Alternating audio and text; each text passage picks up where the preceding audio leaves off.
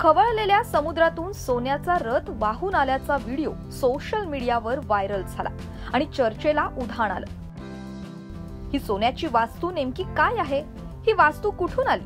आणि खरंच ही वास्तू सोन्याची आहे का? असे एक ना अनेक प्रश्न उपस्थित होऊ लागले.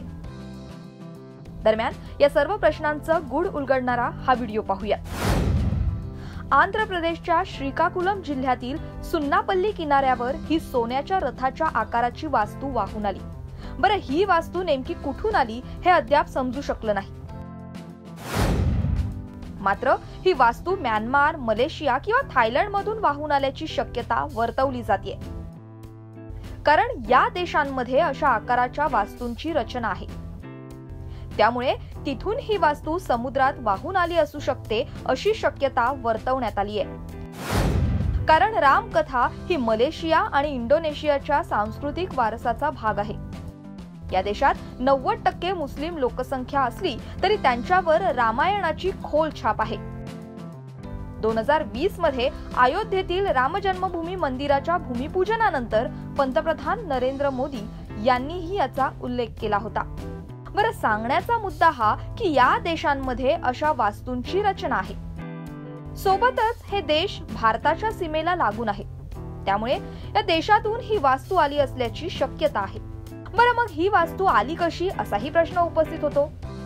तर त्याला कारण आहे चक्रीवादळ. सध्या देशातील अनेक सागरी भागात असानी चक्रीवादळाचा प्रभाव दिसून येतोय. बंगालच्या उपसागरातून निर्माण झालेलं चक्रीवादळ आता आंध्र प्रदेशकडे सरकतंय.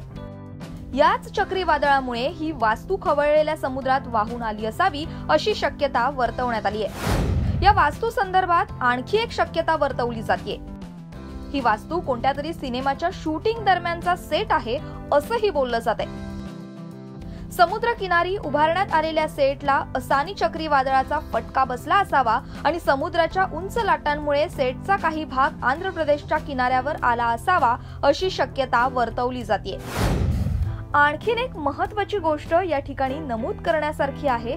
ती म्हणजे या वास्तूवर सोळा जानेवारी दोन हजार बावीस अशी तारीख घालण्यात आली आहे आता हा रथ मच्छीमारांनी दोरीच्या सहाय्यानं किनाऱ्यापर्यंत आणला असून तो पाहण्यासाठी नागरिकांनी मोठी गर्दी केली आहे तर पोलिसही या वास्तू संदर्भात अधिक तपास करतात